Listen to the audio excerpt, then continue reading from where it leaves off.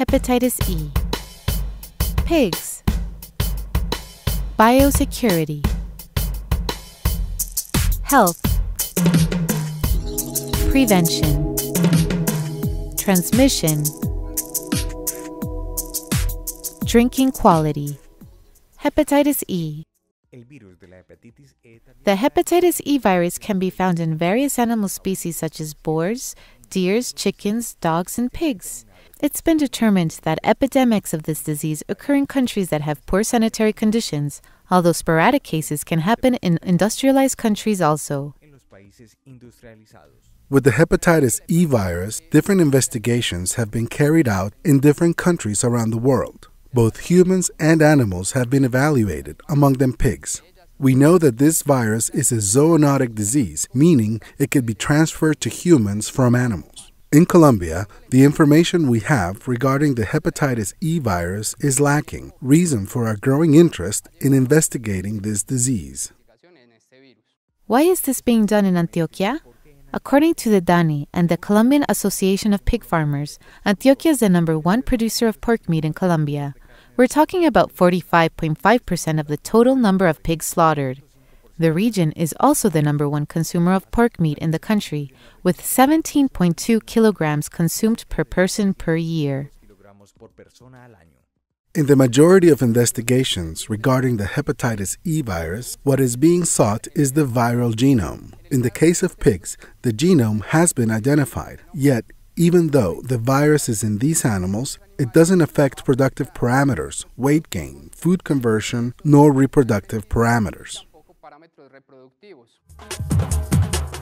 It's very important to take into consideration the colostrum for newborn piglets. This due to the fact that mother's milk strengthens their defenses, helping them fight off organisms, in this case, the hepatitis E virus.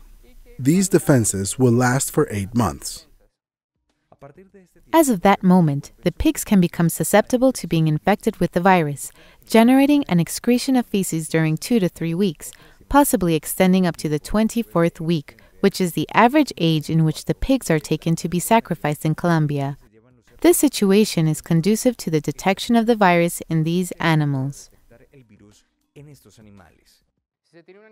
If you have an animal infected with hepatitis E, it's been proven, based on research, that the only organ affected is the liver. The rest of the animal's tissue or organs present no presence of the virus. What happens then to the liver? it's necessary to consider that if the meat is cooked properly, the virus will be deactivated and will therefore cause no harm to the people who eat it. The most important thing in order to avoid the entry and dissemination of the hepatitis E virus in pig farms is by following the proper biosecurity protocols.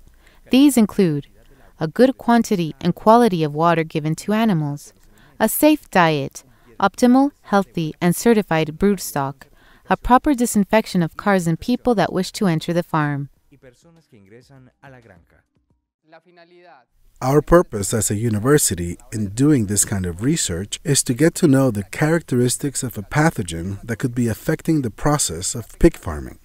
The goal of this is to finally put forward control and prevention measures in order to avoid the dissemination of the hepatitis E virus from spreading among the various pig farms, affecting the chain of production.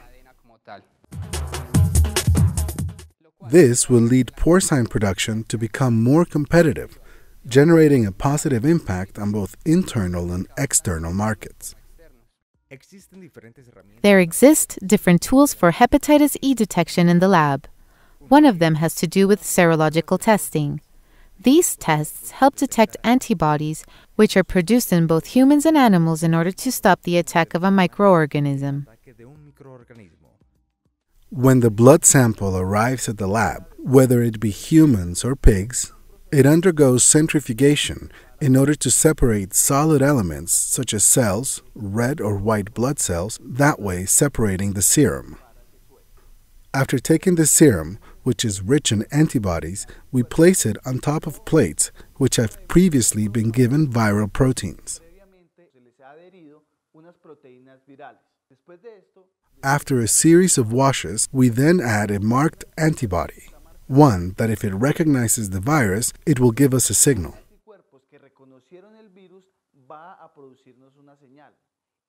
This signal is read by a special machine, and this will tell us if the animal is or was ever exposed to the virus. In the Animal Biotechnology Lab of the National University of Colombia in Medellin, a molecular detection of the hepatitis E virus in pig feces and liver samples is being carried out, as well as in water samples from different sources. Our first step is to take these samples and extract the genomic material. Once we've extracted it, we create a mixture in order to amplify the genome in a machine known as a thermocycler. The thermocycler provides us with temperatures and times that allow us to make copies of the genomic material we've extracted. Once we've extracted this genomic material, we need to verify whether or not it's been amplified. We do this with a technique called agarose gel electrophoresis. Once we've carried out this technique, we will be able to observe whether or not there is amplification of the virus in our sample.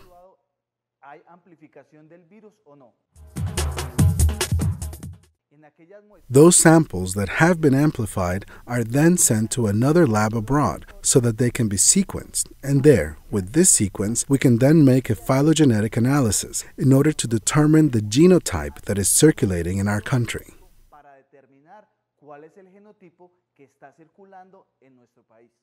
We now find ourselves at the University of Antioquia's Animal Pathology Lab, a lab awarded the ISO 9001 quality certification, which is dedicated to teaching, investigation, and is also an extension of the Faculty of Agricultural Sciences. The activities carried out for this project at the pathology lab are to receive fragments of liver tissue coming from an area located in meat processing plants called the cutting area. Here we carry out cuts, thick tissue slices, then place them into plastic cases, which we then take to a tissue processing area or zone. Here, the samples are placed into an automatic tissue processor where they will remain all night. This machine basically dehydrates the samples using alcohol, removing water and extracting fat in order to place the tissue in paraffin oil. This procedure solidifies the tissue in order to successfully cut it with a microtome, a machine that uses a very fine and sharp knife in order to generate extremely thin cuts. This material is then placed on glass sheets, stained using hematoxylin and eosin, then evaluated using a conventional microscope. Staining the sample allows for contrast to take place within the tissue, highlighting microscopic liver structures, allowing for the detection of lesions. This helps to finally determine whether or not the liver has hepatitis. Another process that is used is called immunohistochemistry. This helps to locate the virus inside the liver tissue. A survey was given at the farms where tissue samples were taken from in order to evaluate their technical development. This was based on ICA's certification form. The result showed that 60% of the farms surveyed showed high technical development of their farms, while 40% showed a low technical development. No correlation was found between the technical development of farms with the presence of the hepatitis E virus. This means that farms, whether or not highly developed technologically, could be positive for the virus. The purpose of testing the water is to determine the presence of the hepatitis E virus in pig farms and meat processing plants and to know whether or not the virus enters these places by means of inflows and outflows. The procedure began with the collection of samples from the places mentioned earlier, from water that is coming in as well as flowing out. It was then refrigerated and taken to the Pontificia Bolivariana University's proteomic laboratory. Here, the samples were placed through centrifugation until obtaining a product from which to do an extraction of the genetic material of the virus, and from there, its amplification and visualization using molecular detection. This at Colombia's National University's Animal Biotechnology Lab, just as it was done with pig's feces and liver samples. The project's first conclusion has determined that the hepatitis E virus is present in Colombia. This has been proven by research teams from the University of Antioquia, CES, and others from Bogota. The hepatitis E virus is also present in pig populations, both in technically developed and undeveloped farms. This has been demonstrated in pig farms from the United States, where 100% of the pigs evaluated have presented the virus, while in Spain the number is 98%. For this reason, we shouldn't find it strange to see the virus present in Antioquia, since some breeding pigs imported into the department are coming from these countries. The virus genome has been detected in pigs' livers here, as well as in Germany, the United States, and England. The virus is excreted through the pig's feces, so what pig farmers must do is to try to inactivate the virus before the feces is used as fertilizer. Our hypothesis is that with processes such as biodigestion, oxidation ponds, or composting, it's possible to inactivate the virus, since you must remember that the virus becomes unstable when put to high temperatures or when it has been outside of the host for a long time. In order to avoid infection of the hepatitis E virus, both in pigs and humans, it's important to supply clean water and to have proper excreta management, and to guarantee that the systems of clean water effectively eliminate the virus. People also must be careful to do the following basic steps properly wash hands, especially before manipulating and preparing meals, avoid eating uncooked or undercooked meat, wash and peel fruits and vegetables before eating. Pork is an excellent source of protein and has a high nutritional content. Yet it requires, as does any food of animal or vegetable origin, proper hygiene management of its products, no matter where in the chain of production. Consumers must also do their part to guarantee the harmlessness of the product.